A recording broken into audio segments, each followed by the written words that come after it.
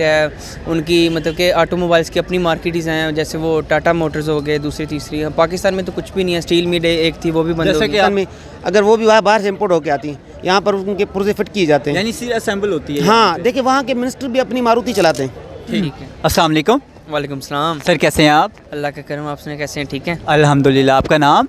मेरा नाम आकिब अली है। आकिब अली है। आकिब अली साहब मेरा आज का क्वेश्चन है आपके साथ ऑटोमोबाइल इंडस्ट्री के हवाले से। अगर कंपेयर किया जाए इंडिया वर्सेस पाकिस्तान के तो आप किस इंडस्ट्री को ज़्यादा इम्प्रूवमेंट के साथ देखते हैं? कौन सी इंडस्ट्री जो है वो बेहतर है? इंडिया की सारी बात है। क्या वजह लगती है?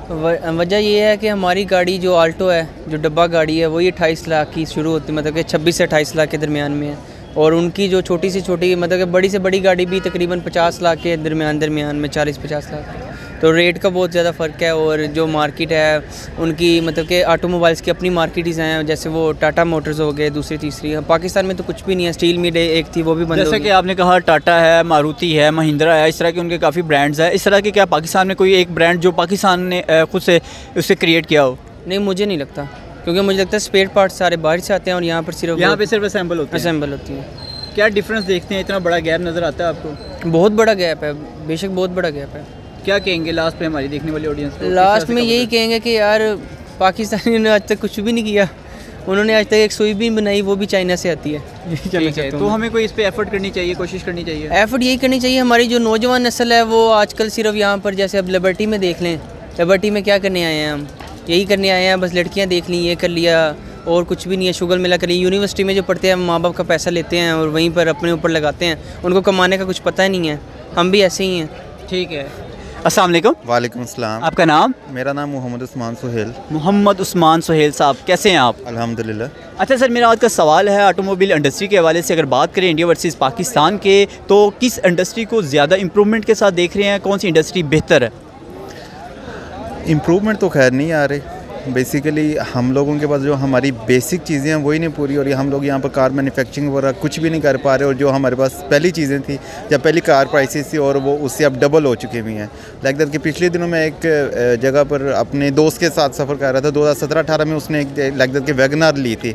उस वक्त उसकी प्राइस के मुताबिक जो उसकी कर रहा था, किस्त पे कर रहा था, वो सत्रह हज़ार रुपये पे कर रहा था। उसी वैगनार की किस्त अब सैंतालीस हज़ार रुपये है। उसी गाड़ी की। उसी गाड़ी की सैंतालीस हज़ार रुपया किस्त है। अब वो जिस बंदे ने सैंतालीस हज़ार रुपये किस्त लेनी है लाइक दैट उसके बाद फिर उसने बीस तीस हज़ार रुपये का पेट्रोल भी खर्च करना है वो गाड़ी ले या अपना घर चलाए सर वो तो चले वैगनर आप बात करें हमारी एक छोटा जिसको हम लोग आम लफ्ज़ों में कहते हैं जी ये साबुनदानी है। हाँ। वो आल्टो की बात करने लगा हूँ मैं। हाँ। तो आल्टो जो कि अट्ठाईस लाख तक पहुँच गई है तो क्या कहेंगे जी इतनी महँगी कार और जबकि हम बाहर से इंपोर्ट करते हैं या बाहर से लाकर यहाँ असेंबल करते हैं क्या वजह है कि हम क्यों नहीं अपनी लोकल मैन्युफैक्चर पे काम करते? ये डिपेंड करता है बेसिकली हमारी इकोनॉमी के ऊपर हमारे डॉलर्स के ऊपर। हम लोगों ने एक दूसरे की टांग खींचने के चक्कर में अपनी इकोनॉमी बेड़ागर कर दी है। देखें ना बाहर से गाड़ियों को इंपोर्ट करते हैं। अगर हम अपने हम साइमल इंडिया की बात करें वहाँ मारुति जो है एक कंपनी है टाटा है महिंद्रा है वो लोग अपनी लोकल मैन्युफैक्चर पर काम कर रहे हैं। क्या वजह है कि अगर हमें भी अपनी लोकल मैन्युफैक्चर पर काम करते हुए कोई इंडस्ट्री की तरफ़ बढ़ना चाहिए या नहीं बढ़ना चाहिए? हमें बेसिकली बढ़ना चाहिए। हमें जो चीज़ें हम इंपोर्ट कर रहे हैं वो हमें यहीं पर ही असेंबल करनी चाहिए ताकि हमें जो जितनी भी ड्यूटीज़ वगैरह और ये तमाम चीज़ें उनसे छुटकारा मिल जाए। क्योंकि जितनी भी ड्यूटीज़ वगैरह तमाम चीज़ें हमने पे करनी होती हैं डॉलर्स में।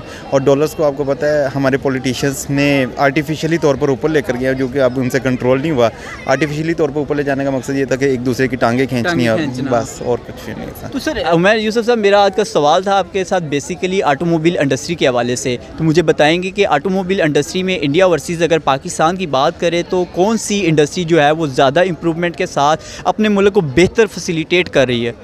सर, मैं तो ये कहूँगा कि पाकिस्तान में जो है वो जितने भी मतलब के अदारे हैं जिसमें रीसेल भी आप कह लें कि लोग गाड़ियाँ ख़रीदते हैं सारी चीज़ें ख़रीदते हैं। उनमें पाकिस्तान में तो ये कहूँगा कि पाकिस्तान में तो फ्रॉड होता है। तकरीबन ये कहें कि 90 परसेंट चीज़ कह के कुछ और कह के कुछ बेचते हैं। इसी तरीके से जो बाहर वाले दो हमारे मुल्क के दूसरे हैं वो कम से कम सच बोलते हैं और गाड़ी अच्छी बेचते हैं इसलिए उनकी वर्थ भी अच्छी है और हर चीज़ अच्छी है हमसे। अच्छा सर देखिए पाकिस्तान की जो लोकल मैनुफेक्चर होती है कोई गाड़ी है ऐसी जो आपकी नज़र में उसका नाम बता दें मुझे।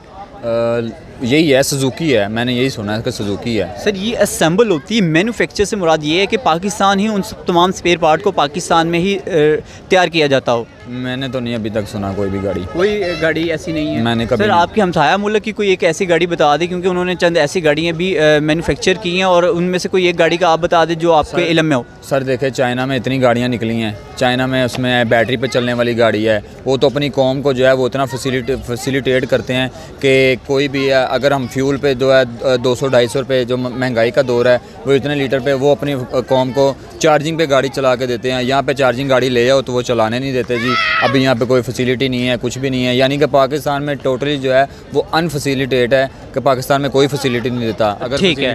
जैसे कि सर अभी आपने कहा, लेकिन सर चाइना का तो एक सुपर पावर कहलाया जाता है, वो उसका तो कोई मुकाबला नहीं। है हम तो अपने हमसाय मुल्क इंडिया की बात कर रहे हैं, जो कि जिसने, जिसके मुल्क में टाटा है, महिंद्रा है, मारुति है, वो इस तरह की तमाम कंपनी अपने वज़ीरों को और बाकायदा वो यूज़ भी कर रहे हैं। हमारे तो यहाँ पर जो वज़ीर हैं या हमारे जो यहाँ पे जितने भी मशीर वगैरह हैं, वो तमाम के तमाम इम्पोर्टेड गाड़ी यूज़ करते हैं। क्या पाकिस्तान में लोकल मैनुफैक्चर करके उन पर तवज्जो देनी चाहिए? देखिए, पाकिस्तान में जो है, मैं खुद मैन्युफैक्चरिंग करता हूँ स्टफ़ टॉयज़ की, चाइना स्टफ़ टॉयज़ बनाता है। ठीक है लोग इंपोर्ट करते हैं चार चार पाँच पाँच महीने पहले पेमेंट भेज के करते हैं। लेकिन मैं खुद जो है वो मैन्युफैक्चरिंग करता हूँ उनकी कापी बनाता हूँ और मेरी कापी जो है वो पूरे मतलब कि पाकिस्तान में मतलब कि होल सेल पे हर चीज़ बेचता हूँ।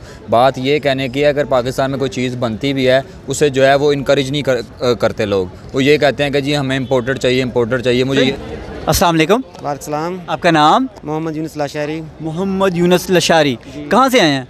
मैं जैकाबाद सिंध से। जेकाबाद सिंध से आए हैं। जी बताएँ सबसे पहले तो ये बताएँ लाहौर कैसा लगा आपको? बहुत अच्छा पहला दिन है आज तो घूम रहे हैं लिबर्टी आपकी। नहीं तो जैकाबाद का क्या मुकाबला है पाकिस्तान के लाहौर का?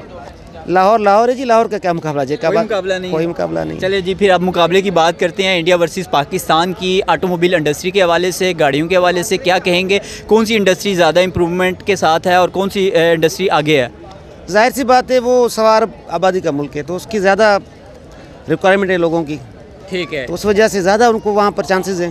यानी कि वो मुल्क ज़्यादा आबाद की वजह से उसको ज़ाहिर है बात की एज है नहीं इस बात का। सर मुझे ये बताएँ कि पाकिस्तान में कोई ऐसी लोकल इंडस्ट्री दिख बताएँ जो पाकिस्तान ने आज से उन्नीस से अभी तक कोई लगाई हो जो जिसमें तरक्यात तरक्याती काम किया हो या कोई मुल्क में इंडस्ट्री बनाई हो। नहीं कुछ भी नहीं बनाया इन्होंने। ये ज़्यादातर जो जो भी गाड़ियाँ आप देख रहे हैं पाकिस्तान में अगर वो भी वहाँ बाहर से इम्पोर्ट होकर आती हैं यहाँ पर उनके पुर्जे फिट किए जाते हैं। यानी सी असेंबल होती है। हाँ देखिए वहाँ के मिनिस्टर भी अपनी मारुति चलाते हैं। ठीक है तो वो इतना बेहतर ट्रेंड है। हमारे पास एक डिप्टी कमिश्नर है सत्रह अठारह स्केल का। वो भी इम्पोर्टेड गाड़ियाँ इस्तेमाल कर रहा है। तो ये फ़र्क है यहाँ पर। सर वहाँ पे मारुति है और मारुति के अलावा तीन चार ब्रांड है जी, जी, बिल्कुल। टाटा है महिंद्रा है। बिल्कुल। क्यों पाकिस्तान में कोई ऐसा लोक- लोकल मैन्युफैक्चर जहाँ पर जो पैसे वाले हैं वो इन्वेस्ट ही नहीं कर रहे इतनी। ठीक है। और हम इस्तेमाल भी नहीं कर रहे। शुरुआत तो हमें अपने लोकल ऑफिसर से करनी चाहिए ना। चलो। मिनिस्टर नहीं कर रहे। Deputy commissioner S D M Mukhtar car उनको तो ये गाड़ियाँ दें वो भी जो लग्जरी गाड़ियाँ इस्तेमाल कर रहे हैं आपको पता है कि डिप्टी कमिश्नर के पास कौन सी गाड़ियाँ होती हैं। सर अगर हम रेट्स की बात करें तो इंडिया में गाड़ियों का रेट भी इंतहाई कम है। बनस्बत पाकिस्तान के तो रेट्स की वजह क्या लगती है? तो सर जो लोकल चीज़ बनेगी तो वो तो कम ही होगी ना। ठीक है।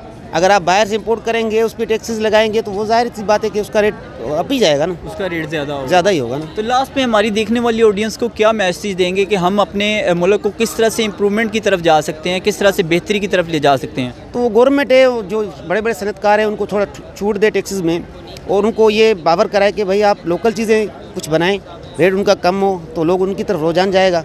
तो फिर ही पाकिस्तान आगे बढ़ेगा। ठीक। कामरान अरशद। कामरान अरशद साहब मेरा आज का सवाल है आपके साथ ऑटोमोबाइल इंडस्ट्री के हवाले से। अगर हम कंपेयर करें इंडिया वर्सेस पाकिस्तान की ऑटोमोबाइल इंडस्ट्री के हवाले से क्या कहेंगे? किसको ज़्यादा बेहतर या इम्प्रूवमेंट के साथ देखते हैं? अ, मैं ये देखता हूँ कि इंडिया हमसे बेहतर है और इंडस्ट्रियल तरक्की याफ्ता है मुल्क है इंडिया। और पाकिस्तान में ना कुछ मैन्युफैक्चर होता है और बेसिकली सब कुछ असम्बल होता है यहाँ पर। चाइना से आता है और बाहर मुल्क से आता है। नहीं इसके पीछे क्या वजह है? जैसे कि अभी आपने कहा कि इंडिया जो है वो हमसे आगे है। अ, अगर सिर्फ़ गाड़ियों में नहीं बल्कि आप देखें हर सेक्टर में इकोनॉमिकली देखा जाए अगर किसी भी सेक्टर वाइज देखा जाए कि इस तेज़ी से तरक्की करने की वजह क्या लगती है? कि उनको नौजवान को अपॉर्चुनिटीज़ दी जा रही हैं और उनकी नौजवान आगे लेके जा रही है अपने मुल्क को। यही बात है। और हमारी नौजवान नस्ल जो सी आप देख रहे हैं आजकल अयाशी में मुतला है और कुछ नहीं कर रही और तरक्की तो कर ही नहीं रही। सर देखें ना एजुके एजुकेशन सिस्टम वैसे ही नकारा है पाकिस्तान का। ठीक है। इंडिया से बिल्कुल नकारा है फैक्टर जो इशू आता है वो एजुकेशन पे आता है। यस मैं यही कहना चाहूँगा। मुझे तो वैसे आई थिंक इंडिया की इंडस्ट्री ज़्यादा लगती है। क्या वजह लगती है? उसके पीछे कि पाकिस्तान इस इस लेवल पे क्यों नहीं है या पीछे क्यों है? ये इस चीज़ का ज़्यादा नॉलेज नहीं है लेकिन मुझे लगता है क्योंकि जो गाड़ियों के जो है ना जिन्होंने मतलब गाड़ी ईजाद की है जी, जी। वो इंडिया में मैंने सुना हुआ है कि काफ़ी बड़े बड़े सर लोकल मार्केट है जैसे कि वहाँ के टाटा है महिंद्रा है और मारुति है। पाकिस्तान में इस तरह की कोई लोकल बेस पे पाकिस्तान में कोई प्रोडक्शन लगा हुआ प्लांट वगैरह? टोयोटा का है आई थिंक नहीं सर वहाँ पे सिर्फ़ असेंबल होती है पाकिस्तान खुद से कोई मैन्युफैक्चर नहीं कर रहा। अच्छा ये पाकिस्तान में? जी। सही। तो इंडिया में बाकायदा इन तमाम चीज़ों को फ़रोग दिया जा रहा है वहाँ पर मैनुफेक्चर की जाती है। क्या कहेंगे इस हवाले से? कि पाकिस्तान में होनी चाहिए? जी जी बिल्कुल होनी चाहिए। पाकिस्तान में भी इस चीज़ को फ़रोग देना चाहिए। तो पाकिस्तान में भी बिल्कुल असम्बल होनी चाहिए ये चीज़। ठीक है।